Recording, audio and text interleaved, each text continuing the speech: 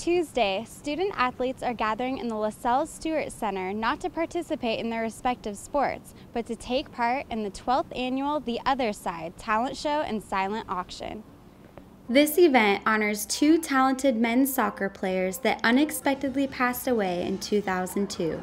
Proceeds from the talent show and silent auction benefit the OSU Food Pantry. We want to keep the money that we raise on campus on campus, and so we know that we're going to help people with that. Fun times were had, and as expected, there was plenty of competition among the athletes. It went super good. We're excited to be here.